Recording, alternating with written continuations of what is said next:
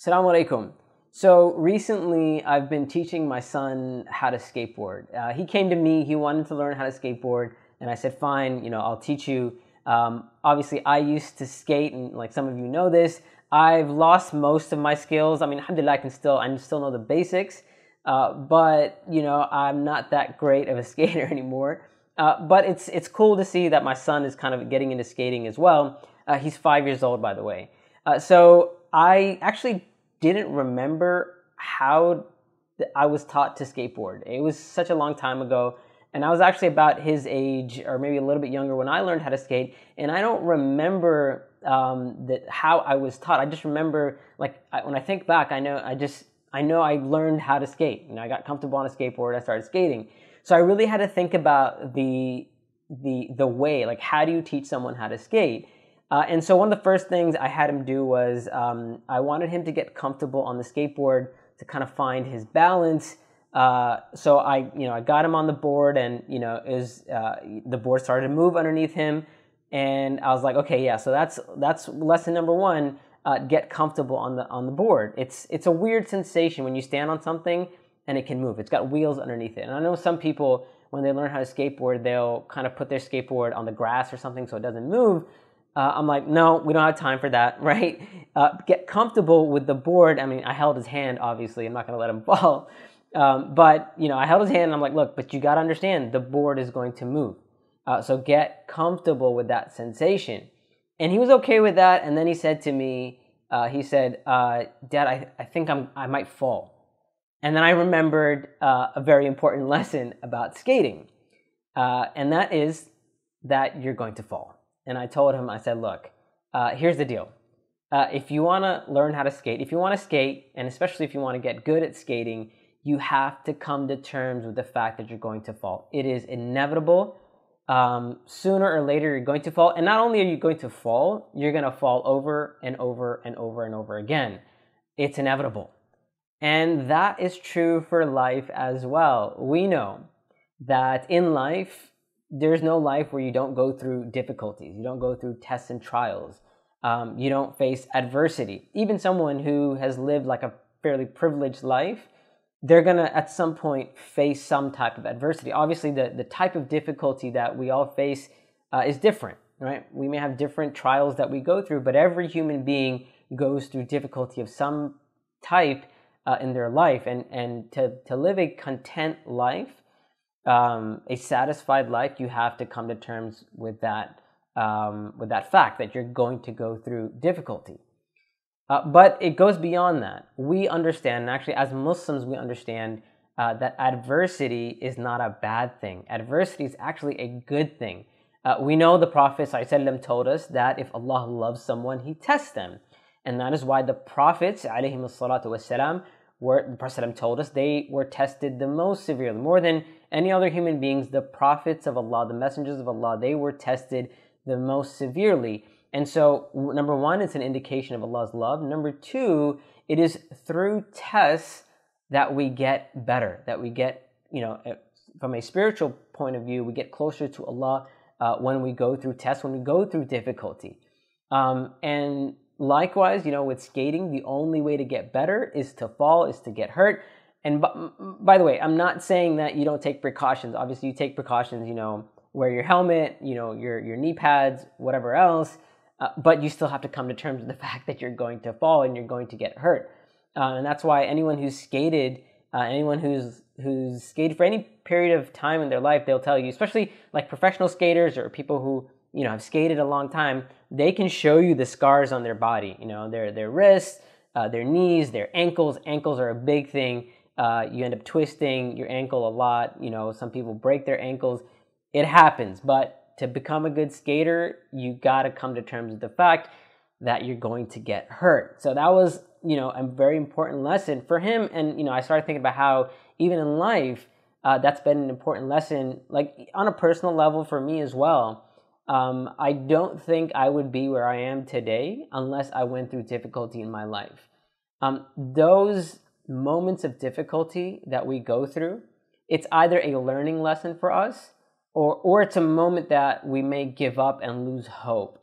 And so, likewise in skating, when people fall, uh, they either lose hope or they, they give up. And I know people who have um, maybe skated for a little bit, but then they fell off their board and they got hurt and they're like, I'm never skating again. And they never skated.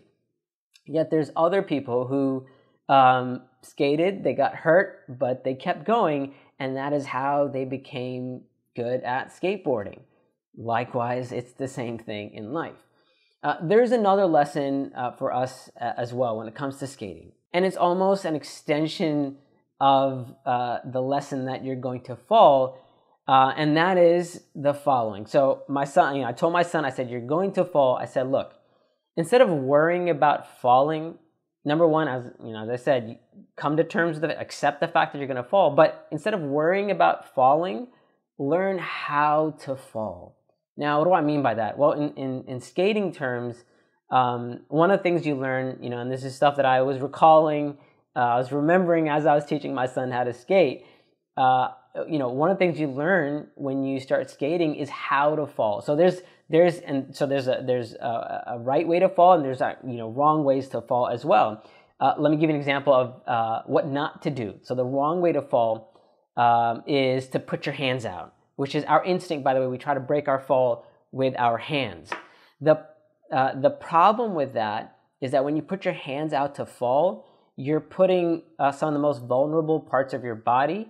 Um, they're taking the impact. So let's say you fall on your hands, your wrist is going to get hurt. You're gonna, you're gonna, you're gonna, you can break your wrist, you can fracture your wrist, get a really bad sprain. Uh, and so you, so you learn not to fall, even though that's instinct, by the way. So if you're not used to falling, um, and I actually fell recently, um, and I had forgotten that lesson. I, I, put my hands out, and I actually hurt my wrist um, because I've forgotten that lesson, to, and that is to not fall uh, on your hands. And so that's the wrong thing to do. Uh, also, it's wrong to panic, right? Once again, that's our instinct. It's normal. You don't know what to do, and you panic. What is the right way to fall? How do you fall when you skate? Well, number one, don't panic. And that's not something you can force yourself to do. It only happens with experience. The more you fall, the more comfortable you get with falling, the more you can think through your fall. And so, if you can think through your fall, if you can remain calm, then you can maneuver your, your body in a way to take the least amount of impact and the least amount of damage. Uh, so, one of the things a lot of skaters learn is to roll into your fall using kind of like your back, your shoulder, kind of roll into the fall. So you, when you roll, you you take the least amount of damage. But that only happens uh, if you can be calm. And so that's you know one of the right ways uh, of how to fall. But how does that happen? Well, it happens with, as I said, with experience.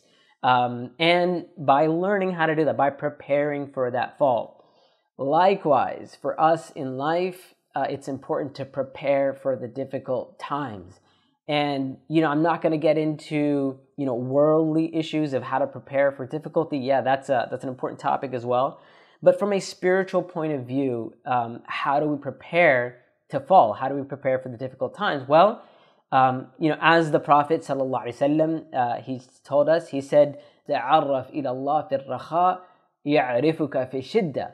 Get to know Allah in times of, of ease and Allah will know you in times of difficulty, in times of adversity.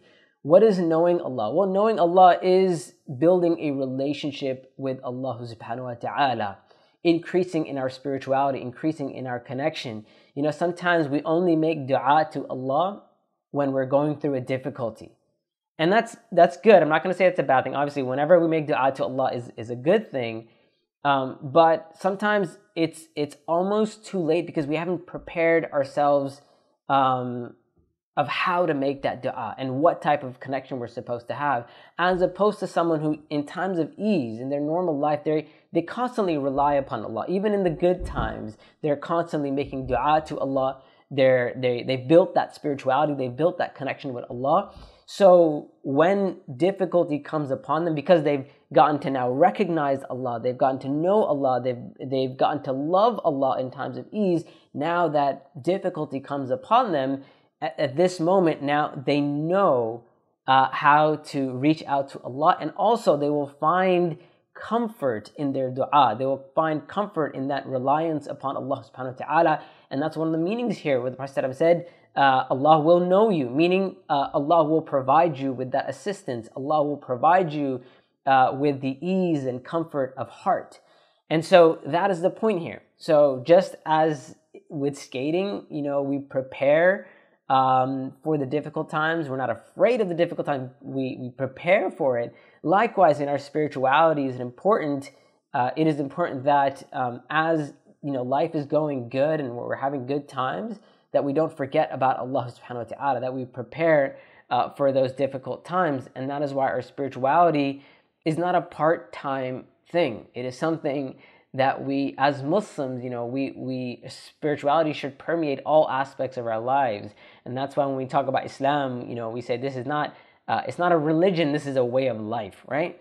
Our deen is, is a way of life for us because we live that spirituality. And so when times do get difficult, uh, we are able to reach out to Allah subhanahu wa ta'ala and find that comfort uh, in those moments of, of, of difficulty yeah, so I just wanted to share that with you. I apologize if I've rambled on or gone on for too long, uh, but I just wanted to share a couple thoughts that I had uh, regarding skating and how, you know, skating, um, there's lessons to be learned from skating as well.